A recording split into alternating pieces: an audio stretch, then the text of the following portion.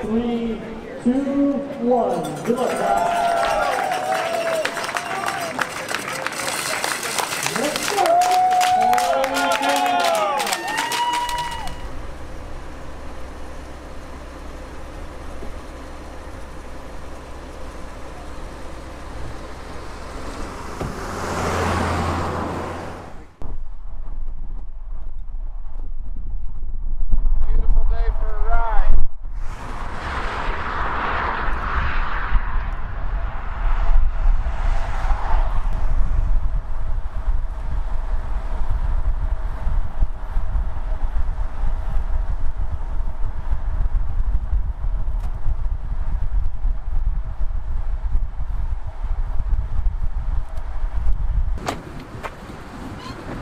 Guys. All right.